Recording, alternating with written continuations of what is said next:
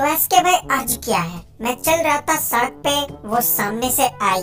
मैं चल रहा था सड़क पे वो सामने से आई। मैंने उसको बोला हेलो जी। और उसने तुझे बोला हेलो भाई।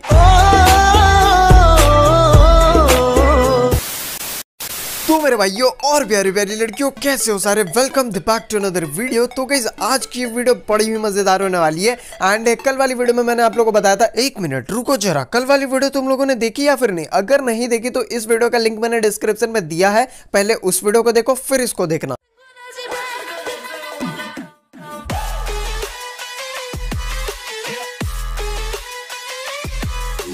तो गई आज अपन ना सिर्फ़ इंडिया के नंबर वन क्लैन के अंदर है, बल्कि ग्लोबल के नंबर वन क्लैन के अंदर है, ठीक है? टीम इंडिया अभी ग्लोबल नंबर वन पे बैठी हुई है। एंड आज की इस वीडियो में मैं आप लोग को बताऊँगा, ये जो क्लैन टूर्नामेंट है ग्लोबल क्लैन टूर्नामेंट ये एक्चुअली में होता क्या है, ठीक है? तो यार, इससे पहले कि हम लोग वीडियो में आके बढ़ जाए, आप सभी से एक नम्र निवेदन है कि अगर कोई चैनल पे न्यू हो, पहली बार आए हो तो यार सब्सक्राइब करो। आप लोग सब्सक्राइब करते नहीं हो सेवेंटी लोग वीडियो देख रहे निकल जा रहे हैं। नहीं नहीं, दिक्कत क्या है भाई साहब? सोले के ठाकुर हो रखे हो या फिर हाथों में मेहंदी लगी। अगर लगी भी है ना तो भाई साहब देखो फ़ोन की स्क्रीन चार्ज जाओ, लेकिन सब्सक्राइब करो एंड नोटिफिकेशन बेल भी ऑल पे सेट कर देना। बाकी चलो यार वीडियो में आगे बढ़ते वो भी बिना किसी तेरी के।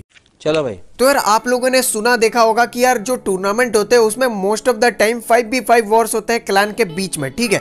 ऐसा होता है टूर्नामेंट लेकिन ये जो ग्लोबल क्लैन टूर्नामेंट है, ये उससे काफ़ी अलग है, ठीक है? काफ़ी सारे लोगों को इसके बारे में फुल नॉलेज होगी तो अच्छी बात है। जिनको नहीं है, उनके लिए ये वीडियो है, ठीक है? तो अब ये जो ग्लोबल क्लैन टूर्नामेंट है, ये एक्चुअली में होता क्या है? तो यार देखो, ये जो ग्लोबल क्लैन टूर्नामेंट है, यहाँ पे कोई भी वॉर्स नहीं होता है क्लैंस के बीच में। यहाँ होता है मुकाबला पुशिंग का, ठीक है? एंड जो टूर्नामेंट होते हैं, उसमें मोस्टली होते हैं फाइव बी फाइव एंड ज़्यादा से ज़्यादा आपको वहाँ पे पाँच बंदों की कंट्रीब्यूशन चाहिए रहती है। लेकिन पुशिंग ग्लोबल क्लाइंट टूर्नामेंट में यहाँ पे आपको चाहिए होता है कंट्रीब्यूशन पूरे 50 बंदों का। तो यार देखो, अब ये जो ग्लोबल क्लाइंट टूर्नामेंट है, ठीक है, इसमें विनर्स कौन होते हैं, कैसे डिसाइड होता है, वो आप लोग को बताता हूँ। तो सीज़न एंड जब हमारा होता है तो सीज़न एंड के टाइम जो भी क्लाइंस टॉप थ्री में रहते हैं, ठीक है टॉप थ्री क्लाइंस जो होते हैं, उनको यहाँ पे सेलेक्ट करा जाता है विनर एंड विनर क्लाइंस को यहाँ पे मिलते हैं रिवॉर्ड्स एंड रिवॉर्ड्स क्या मिलते हैं, वो आप लोग को यहाँ पर साइड में देखने को मिल रहा होगा। फ़र्स्ट क्लैन को मिलते हैं पचास हज़ार जेम, सेकंड क्लैन को मिलते हैं तीस हज़ार जेम, एंड थर्ड क्लैन को मिलते हैं पंद्रह हज़ार जेम, ठीक है? एंड इसमें भी बहुत सारे लोगों को ये कंफ्यूजन रहता है कि क्या हर प्लेयर को पचास पचास हज़ार जेम मिलते हैं? तो देखो, ऐसा बिल्कुल नहीं है। यहाँ पे अगर जो रिवॉर्ड है फ़र्स्ट सेकंड थर्ड के, उसके ऊपर अगर आप लोग देखोगे तो यहाँ पे छोटे अक्षरों में लिखा हुआ है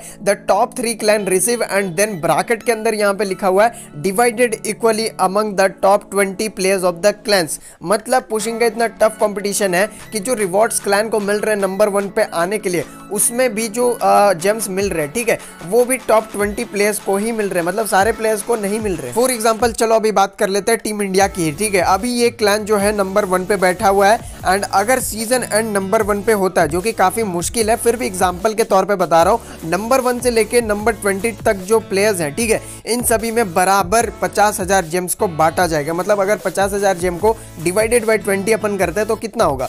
2.5 के जेम्स होता है मतलब अढ़ाई हज़ार जेम्स सभी प्लेयर्स को मिलेंगे यहाँ पे ठीक है? और भाई साहब बाकी जो क्लैन के प्लेयर्स हैं उनको मिलेगी सिर्फ़ निराशा हताशा दूध दही बताशा। एंड यही सेम चीज़ होता है top second and third clan के बीच में भी ठीक है? जैसे टॉप सेकंड क्लैन की बात करें तो इनको मिलता है सीज़न एंड में थर्टी थाउज़ेंड जेम्स है ना? एंड वही थर्टी थाउज़ेंड जेम्स को उनके क्लैन के जो टॉप ट्वेंटी प्लेयर्स होते हैं उनके बीच में बांट दिया जाता है। मतलब thirty thousand divided by twenty is equal to one point five K gems सभी टॉप ट्वेंटी प्लेयर्स को मिलते हैं। एंड वैसे ही थर्ड क्लैन की अगर बात करें तो इनको मिलता है यहाँ पे fifteen thousand gems and fifteen thousand gems twenty players के बीच में जो टॉप में होते हैं, उनके बीच में बांट दिए जाते हैं। तो अब आप लोग मेरे को ये बताओगे कॉमेंट में कि थर्ड क्लैन के जो टॉप ट्वेंटी प्लेयर्स हैं, उनको कितने कितने जेम्स बराबर मिलेंगे? ठीक है, देखो सातवीं फेल भी ये बता सकता है तो आप लोग भी बता देना कॉमेंट में। तो गाइज़ यही था आज का छोटा सा वीडियो छोटा सा एक्सप्लेनेशन ग्लोबल क्लैन टूर्नामेंट को लेके एंड उम्मीद करता हूँ आप सभी को ये वीडियो पसंद आई होगी। अगर वीडियो अच्छी लगी लाइक ज़रूर करना शेयर ज़रूर करना एंड एक और चीज़ गाइस